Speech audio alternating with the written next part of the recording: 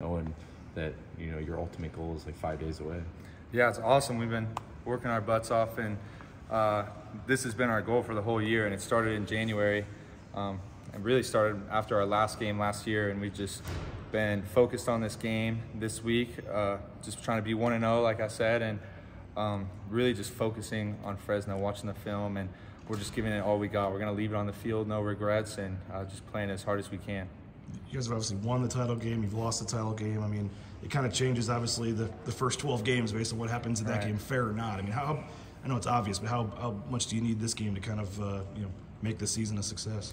Yeah, definitely. We've we've been on a roll, and uh, this is our goal. And so, this whatever the season was like before, we made it to the championship, and our goal is to win. And if we do, that's our mission's complete. And we had a successful season, and we're going to be able to carry that momentum into the next year. You look at everything you guys went through after that loss to Utah. About, to be here right now, what does it say about this program and these players? Yeah, it just says we're relentless. Um, we never give up. We're never out of the fight, and we're just going to keep throwing punches and keep going along with our mission and, until we get it done. So our guys are always looking forward and uh, just doing whatever they can and leaving it all on the field. Is there a different feel preparing for and playing in a game against somebody you've played before? Yeah, it's different. We both kind of already know each other's schemes. There's obviously different stuff that they've implemented and we implemented throughout uh, just the season, and so we've kind of seen some of it, but we know that there's going to be differences, and we're just ready to go and attack it. Do you have a better sense of maybe somebody, you know, when you watch on film the first time, like if you have to block somebody, how quick somebody's going to be? Is, is there more knowledge in that realm? Right, yeah, we kind of know how each of us play, but then, uh, like I said, through the season, you get both guys get better and um, you change over time. So we just go out and we feel it out and we just keep keep playing. Can't remember if you have a COVID year left or not, but if not, this will be your last game on the blue, right? Have you thought about that, and what emotions does that bring up? Yeah, whether whatever happens, haven't really thought too much about it, but uh, just trying to win a championship. And yeah, if this is the last time on the blue, not sure what it's going to look like, but I'm giving it all I got, no regrets, just leaving it all on the field for the guys. Do you have a COVID year left? Can Yes, sir. can. Yeah, yeah. So when will you make that decision? Uh, probably sometime after the season, but just right now, focused all on this game and just, like I said, no matter what, just leaving it all out on the field for my brothers. I assume it was just precaution. I mean, you're suited up and you're talking to us. I assume you're playing Saturday. I mean, was it just a precautionary thing last week? Yeah, just a precautionary thing, getting my body right and uh, going full speed this game, so just ready to get after it. You look at Fresno State, and they have a lot of names that people recognize, but they haven't put up a great stats on the defensive side of the ball this year. What have you seen of their defense on film?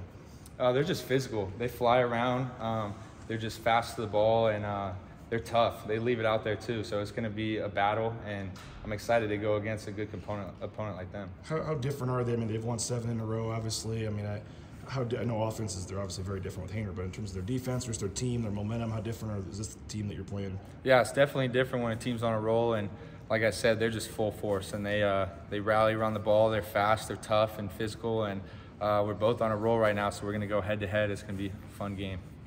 They didn't have their safety Evan Williams last time you guys played.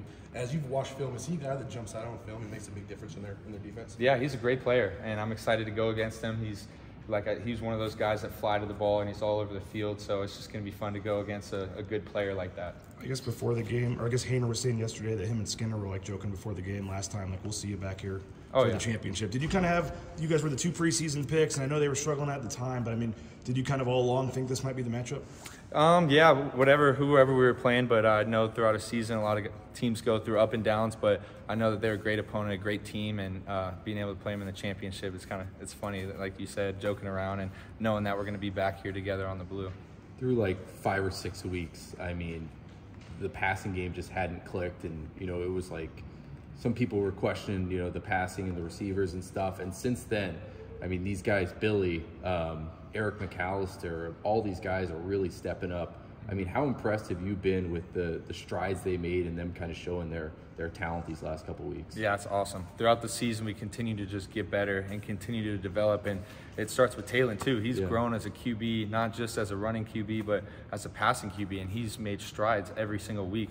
And everybody else has as well. Like you said, the receivers, tight ends, O line, running back, the defense, just continuing to make strides and be better. And that's what makes a championship team. They get better throughout the whole season, and it's starting to click and show up on the field. So you say make strides for a quarterback, and that's a very like vague thing. Are there like examples of stuff like you watch Taylen do now, where you're like, all right, in October, I don't know if he's doing that. Yeah, he's just more comfortable and more confident. That's just built over the season. You can see he's making amazing throws and going through his progression and calling out hots. He's just doing a lot of things that uh, a veteran quarterback does. And and he, he's a young guy and he's starting to build every week, and it's just awesome to see on the field. So how much of his like uh, I, development is knowing the defense, seeing stuff pre-snap, and calling that out? Yeah, that's a big part, and he's he's a very smart guy. And Coach Koetter does a great job preparing all of us and being able to know what they're doing before the play even starts. Yeah. that's a big goal for us, and he does a great job seeing that, and it helps the play be successful.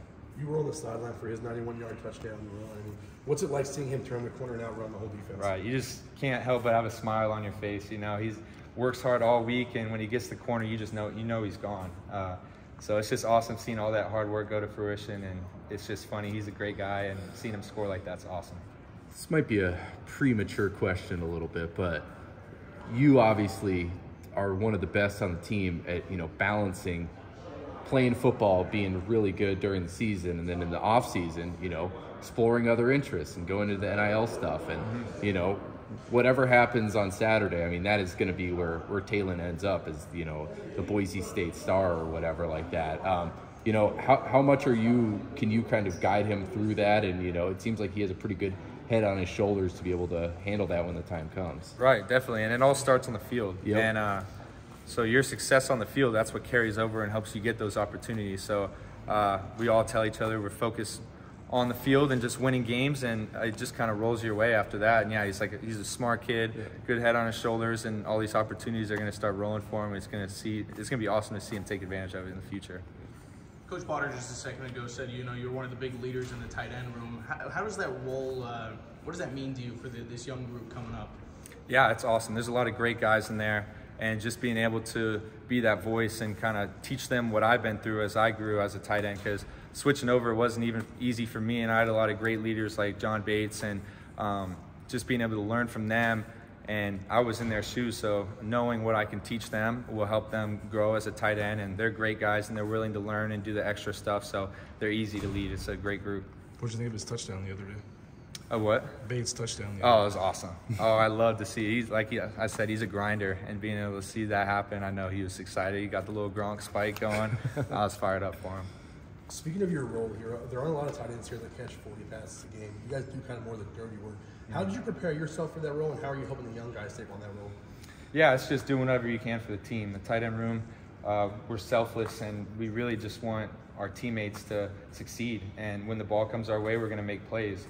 And uh, when we're in the trenches and doing the dirty work, we're to sell out to help our teammates be successful. So we all know that going into it. We just have that mindset of just being selfless and trying to do whatever we can in our 111 for the team. And we saw Matt Lauter have